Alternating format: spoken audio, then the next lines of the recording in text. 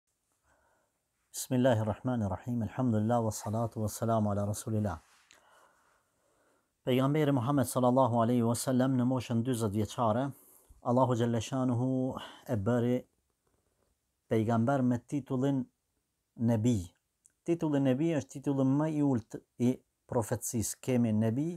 kemi Resul, kemi Ulul Azm. Pastaj Allahu xhelle shanuhu, domethënë, e ngriti pejgamberin Muhamed sallallahu alejhi ve sellem në këto tri grada derisa u bë domethënë Ulul Azm. Por ajo që po du të them është e para gradë ishte grada Nebi. Kjo gradë Muhamedit alejhi salatu ue selam i erdhi në shpellën Hira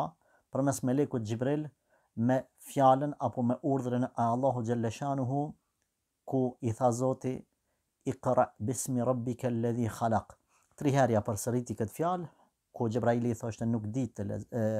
pejgamberi sallallahu alajhi wasallam thoshte nuk di të lexoj, nuk di të lexoj, për së treti, domethënë, e vazhdoi Xhebraili ajetet e para të kësaj sure, lexo në emër të Zotit tënd, e, i cili të krijoi. Ë, apo i cili krijoi çdo gjë. Pra Muhamedi sallallahu alajhi wasallam me Urdhrin lexo, mëso, studio, dini këtë kuptim të kësaj fjale, u bë pejgamber në gradën nebi, ama nuk u ngrit në gradën resul, në gradën më të lartë, më të vlefshme, më të rëndësishme, përderisa nuk i erdhi ajeti tjetër në surën Muddathir ku Allahu xhelle shanuhu i tha ja ejuhel muddathir kum fe endhir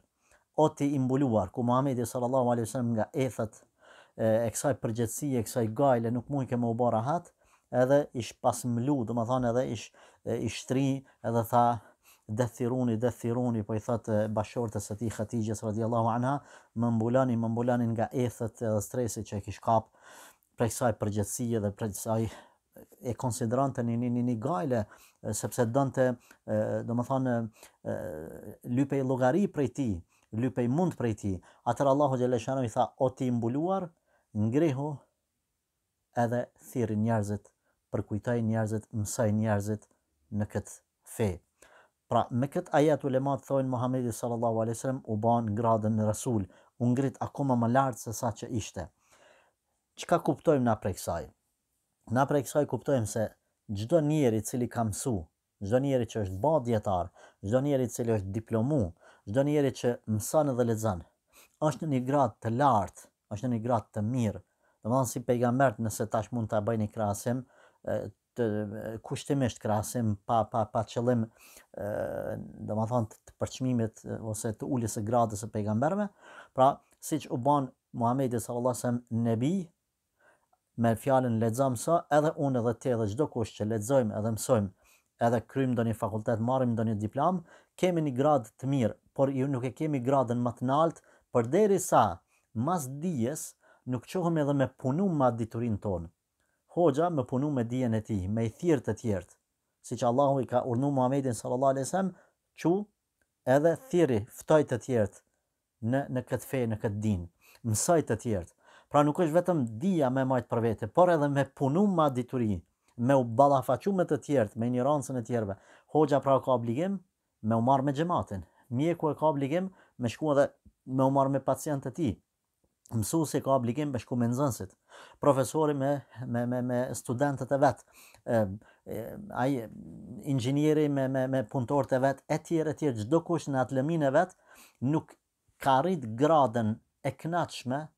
derisa nuk arrin, nuk fillon me punu me atë dije të cilën e ka. Mbetet domethënë në një gradë ma të ultë, e kur fillon pastaj me pas ndikim me ndiku me dijen e tij te të tjerët, atëherë ai ka mri në gradën ma të lartë, po thom kështu gradën e Resul, domethënë kushtimisht thash, siç e ka mri Muhamedi alayhi salatu wasalam, me urdhnin kur i ka ardhur me u çu me punu edhe me ndiku te të tjerët edhe me e dhon maksimumin dhe mundin e asaj dije. E njerëzit të cilët mësojnë edhe thjesht izolohen në vetveten e tyre, nuk dalin me u ballafaqu me problemet, nuk shkojnë me i mësu të tjerët, shkurt nuk jau sheh hajrin kërkush, Atëherë ajo dije nuk ka dobi, sepse është dije e vdekur. Për këtë sebeb, të dashur besimtarë, vëllezër dhe motra, e, Ibn Kaimi rahmetullahi alej për mësuesin e vet Ibn Temien thotë se njeriu i cili i jep përparësi dobisë të njerëzve, domethënë merret me njerëzit, edhe me ju sjell dobi të tjerëve, ka vlerë te Allahu kjo vepër ma shumë se sa adhurimet nafile, që dobia jet vetëm te vetja vetja jote. Pra ti me e lon një namaz nafile, një agjërim nafile, edhe me shku në shërbim të një shokut, të një vllaut, të një në një nevojë, në një telashe të një insanit tjetër, është 30 nga 30 30 fish, nga 30 forma, 30 argumente, domethënë është ma e vlefshme 30 herë ma e vlefshme se sa thjesht se sa thjesht me u fokusu vetëm në veten tane. Prandaj e jona është që masi të mësojmë, masi të marrim diploma, çohmi, të mos rrimë, të mos strukemi nëpër kolibet tona ose zgafellat tona ose shpellat tona sikurse ariu që qëndron tan dimnin në shpellë, por çohemi edhe të bëhemi të dobishëm, secili në drejtimin e vet, secili në lëminë e vet, duke i shërby këtij vendi, duke i shërby këtyre njerëzve, sepse Allahu xhelleshanu nuk na do vetëm thjesht me mësu nëse nuk çohemi dhe atë punë e vemë atë atë dije e vemë në punë edhe vemë në praktikë Allah ju ruajt dhe ju nderoftë Allah ju shpërbleftë të bëhemi aso që mësojmë